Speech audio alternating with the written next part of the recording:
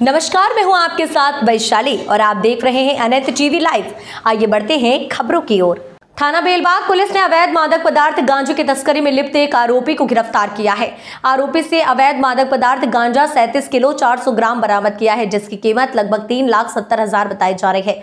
अतिरिक्त पुलिस अधीक्षक सूर्यकांत शर्मा ने बताया कि थाना प्रभारी बेलबाग प्रवीण कुमार को मुखबिर से सूचना मिली कि छुई मोहल्ला निवासी अनुज गौंड अवैध मादक पदार्थ गांजा घर में बेचने की फिराक में रखे हुए हैं, जिस पर तत्काल टीम गठित करते हुए दबिश दी गई, जहाँ मौके से अनुज गौंड को गिरफ़्तार करते हुए घर से 37 किलो 400 ग्राम गांजा बरामद किया है, जिसकी कीमत लगभग तीन लाख सत्तर हज़ार बताई जा रही है। कल बेलबाग थाना प्रभारी को मुखबिर से ये सूचना मिली थी कि छुई मोहल्ला का रहने वाला अनुज गौड़ अवैध मादक पदार्थों का धंधा भी करता है, परिवहन भी करता है। इस सूचना पर जब उसके घर पे पुलिस पहुँची तो उसके कब्जे से सैंतीस किलो 400 ग्राम गांजा लगभग तीन लाख सत्तर हज़ार रुपये कीमती का जब्त किया गया है।